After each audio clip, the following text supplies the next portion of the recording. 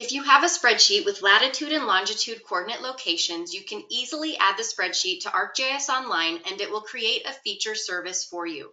From your content page, click on New Item and then choose to add an item from your device or Google Drive, wherever the spreadsheet happens to be.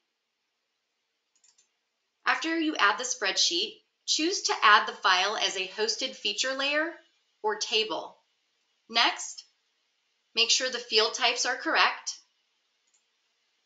When the location settings come up, you will see the default is a geocoder that costs credits and uses place names or addresses, etc. Because we already have coordinates, we're going to click on the dropdown, scroll up, and choose latitude and longitude, which does not cost credits. For my situation, my latitude is the y coordinate field from my spreadsheet, and the longitude is the x-coordinate field from my spreadsheet.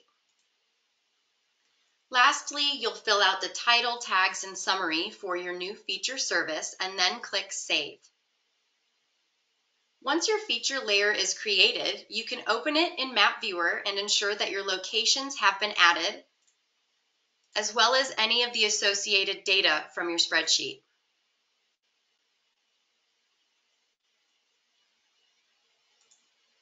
When I click on a point, you can see that all of the information that I had in my spreadsheet is available.